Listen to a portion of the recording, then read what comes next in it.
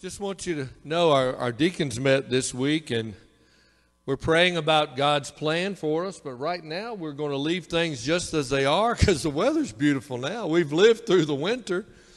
And I encourage you on these beautiful days like today, bring your lawn chair and sit out. Bring a cup of sweet tea if you need to. And we're just praying about the next step. We're having um, our young people are going to present an ascension skit on May the 2nd. It's not exactly 40 days after the ascension, after the resurrection, but that's when we're going to do it because May 9th, they're going to have something special for all the moms and the grandmas and, and uh, for Mother's Day. Invite your mother to come, and I hope it's such a pretty day. We can just sit under these beautiful trees. We got some shade now. First Sunday of June, we will be recognizing our graduates this year, and we do have a few.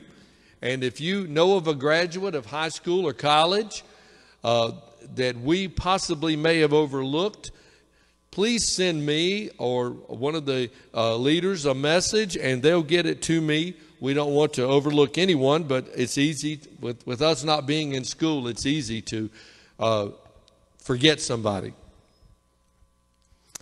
And uh, then Father's Day will be the third Sunday of June. I'm telling you, we're already planning the summer away, but it's exciting. Just like my driving, uh, Layla claims, is a little bit of uh, erratic.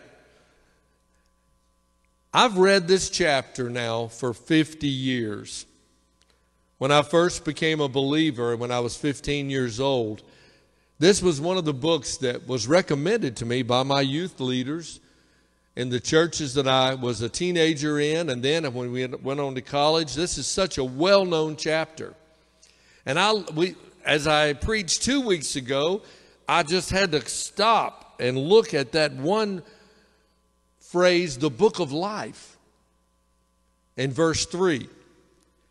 And then Sunday night, as I started, and Monday, as I started preparing for this message and reading this next passage, the first verse says, Rejoice in the Lord. Again, I say rejoice. And I love that verse. It's wonderful. I like to preach on that, rejoicing, and all the things we have to be thankful for. We could, the other day in the car, after the girls thought I wasn't driving too well, we played the glad game. I said, okay, now we're all going to say something we're glad of. And Layla's first statement was, I'm glad I'm going home. And, uh, and I love that verse. And I love verse 6 be worried for nothing, but in everything, by prayer and supplication with thanksgiving, let your requests be made known unto God. And the peace of God will keep your hearts and minds. So, all these are great verses. But as I got to chap- chapter 4 and verse 5, the Holy Spirit in my heart just said, Stop. Look at this verse. It's one of those things we just breeze through. Let your moderation know, be known unto men, the Lord is at hand. I've read that, I've memorized it in the King James. But then I looked at that word gentleness. Now, whatever Bible you have, let your blank be known to all men. That word appears five times in the Greek original language of the New Testament. That particular Greek word. It's translated moderation in the King James. It's translated gentleness in the New King James. But let me tell you, if you if you can right now, make some notes because I want to give you some words that you need to carry with you this week. And of course, it never fails when the Lord starts working in my heart on something and I'm studying to preach, I usually mess up in that category that week. Wouldn't you know? It's so much easier to preach on things you don't have trouble with. But this word, moderation, let me tell you the key words in this passage. There, it's translated in many different versions. Here's the translations.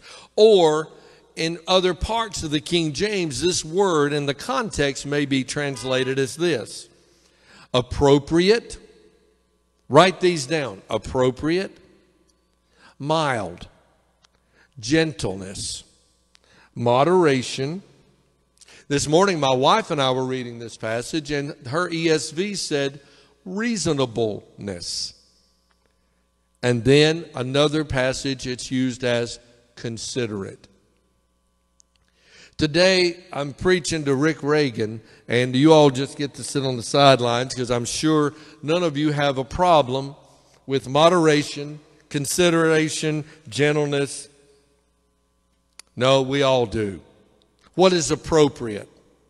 What is what is in this passage where Paul was talking to this church? He had just corrected two women who had had a discord. Listen, you get two humans together, you're going to have conflicts. It's just normal. It, because people have different thoughts, different attitudes. They see things differently. So he told them, get this straightened out. And then he said, rejoice in the Lord. And then he made this one little statement let your moderation, let your gentleness be known. Why? because the Lord is at hand. God is here. Maybe Paul was saying because the coming of the Lord could be today, but also he's saying God is with us. Oh, be careful, little mouth, what you say. For the Father up above is looking down in love. Oh, be careful, little mouth, what you say. Some of those little songs we sang in Sunday school. By the way, I miss Sunday school, and I'm praying the Lord will give us the, the wisdom to know when to go back in for Sunday school. I'm glad Kristen and some of the workers are working with our children because they need to learn on their level. And also, you parents, I think, can get more out of it if they're not sitting in the car with you for about 25 minutes. Let me read you some other passages in the scriptures that you don't have in your notes but you may want to jot those down where this same word is used. Because my goal today is that you and I leave here with a different attitude about our attitudes. Titus 3 1.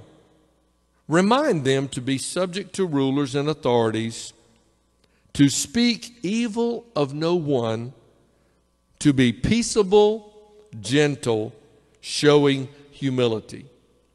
That's what Paul wrote to young Titus the preacher. Remind your church to be peaceable, gentle, and humble. James 3:17 this word appears in James. But the wisdom that is from above is peaceable and gentle, willing to yield. Oh, my, we don't like that. Willing to yield. That means I've got to give in to somebody. I've got to see things your way. I've got to look through your eyes, full of mercy and good fruits, without partiality and without hypocrisy. You know the old saying, some people say, I don't go to church because all the hypocrites. Well, you go to Walmart with them, you go to Chick fil A. You think those kids standing out in the sun at Chick fil A are really having pleasure? Or in the rain? I've seen those kids under those tents serving that food, saying, My pleasure, and the rain's dripping off their hoods. This week, when we visited Liberty, I said, You know, Liberty is a cross between Disney World and Chick fil A. Oh, sure, they were putting their best foot forward. They were trying to make those kids feel welcome. But we went into classes that were not expecting us to come, and we felt so welcomed. Do people feel welcomed in your presence? Is your home a place of gentleness and comfort and hospitality? I realized during this time in the last year, there hasn't been a lot of interaction with families. But I want to tell you something, folks. Get with people.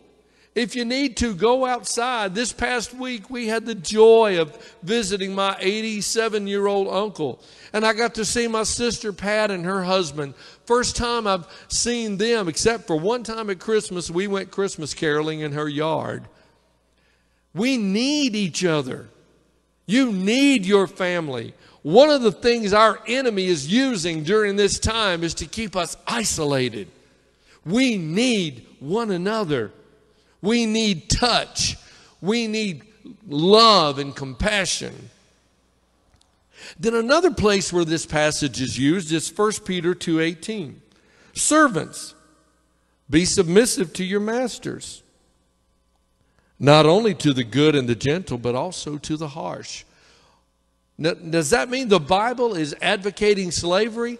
No, but because slavery was a part of their system in that day, he was preaching to those slaves who were believers in Christ and saying to them, Be submissive. In other words, we as the servants of Christ, be submissive, be gentle. Another passage is in 1 Timothy chapter 3.